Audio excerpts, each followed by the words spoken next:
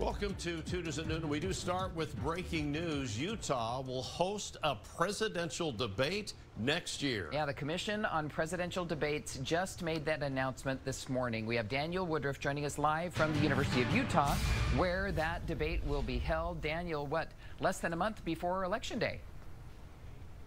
That's right, Mary and Ron. The debate will be held right behind me here at Kingsbury Hall on the University of Utah campus. It'll take place October 9th, 2024. It will be the third and final presidential debate of the general election cycle.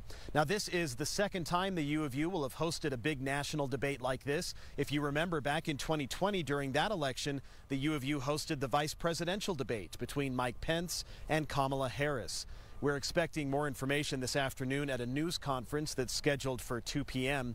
Set to attend that, Governor Spencer Cox, U of U President Taylor Randall, Senate President Stuart Adams, and Salt Lake Mayor Erin Mendenhall, among others.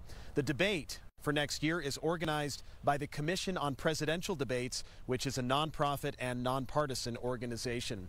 And that organization announced today the other locations of the debates for next year as well. The two other presidential debates set to take place at Texas State University and Virginia State University. And then the vice presidential debate is set to take place at Lafayette College in Easton, Pennsylvania.